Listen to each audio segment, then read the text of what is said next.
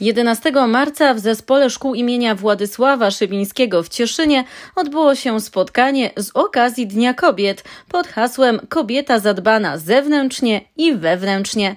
Spotkanie zorganizowano na rzecz Stowarzyszenia Przyjaciół Chorych Hospicjum imienia Łukasza Ewangelisty w Cieszynie w ramach akcji Pola Nadziei. W trakcie spotkania miała miejsce m.in. konferencja w tematyce kobiety zadbanej wewnętrznie i zewnętrznie. Nie zabrakło również oprawy artystycznej oraz słodkości.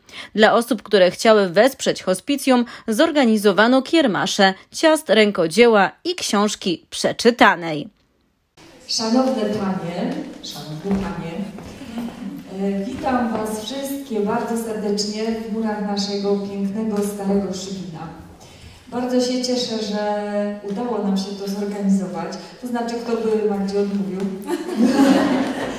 I po raz pierwszy skontaktowały się z naszą Kasią, potem przyjechały do mnie z panią Iwonką. No i cóż, no, e, dzisiaj tu usłyszałam przy stoliku, że tej osobie się nie da odmówić. To też, to też tego nie zrobiłam, a nawet nie chciałam, bo inicjatywa jest szczytna, Wprawdzie wszystkie panie wyglądają na zadbane zewnętrznie i wewnętrznie, ale ja myślę, że nigdy nie jest za dużo właśnie tego dbania o siebie, pomyślenia chociaż na chwilę o sobie, o tym, o naszym zdrowiu, o naszym pięknie. Mam nadzieję, że ten czas starej, pięknej, po austriackiej kantynie oficerskiej na, nastroi Was odpowiednim nastrojem takiego biesiadowania eleganckiego, trochę po oficersku, trochę po kobiecemu, trochę po szybińskiemu i w szczytnym celu, bo po to tu jesteśmy.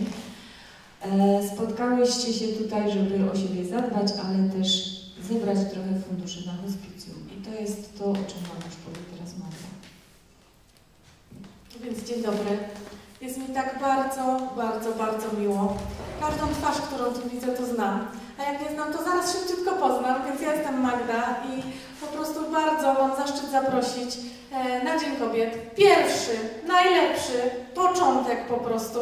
I my, mam nadzieję, że co roku, cyklicznie, prawda? No i co mam powiedzieć? To mi się nie da odmawiać, wiecie. E, więc e, cyklicznie będziemy się spotykać w tak pięknym gronie jak dzisiaj, ale dzisiaj to pierwsze. E, po prostu E, ciarki mam, jak na Was patrzę, bo wszystkie jesteście bliskie tutaj i wszystkie w jakimś stopniu mojej kobiecości się odbiłyście. Mamuś, nie płacz. Także powiem Wam tak, e, dochód jak zwykle wykorzystamy najlepiej jak umiemy, bo to wiecie, nie? Pieniążki lubimy bardzo, ale bardziej jeszcze lubimy właśnie tą inicjatywę, tą wspólnotę i to wielkie dzieło, które 25 lat już robi ogromną robotę i ja się z tą robotą spotykam i mierzę na co dzień. E, kolejnym zaszczytem moim jest to, e, jakie osoby tutaj dzisiaj mogę przedstawić.